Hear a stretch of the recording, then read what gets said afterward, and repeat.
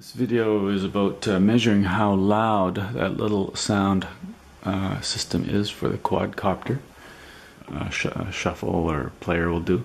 Holding it on this little cube with a piece of Velcro. BoomCube sells for around $5 in an app on the uh, iPhone. So I'm going to try it at 15 feet away and we'll see how loud that is.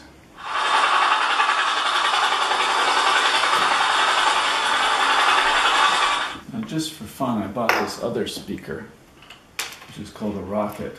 Comes together in a little package like this with a plug-in and a contact speaker. And this speaker here basically sticks onto any surface and turns that surface into a speaker.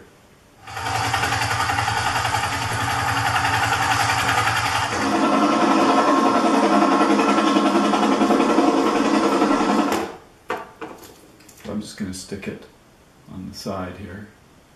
Hopefully it won't interfere with the GPS. I might have to move it. And let's see how loud that can go.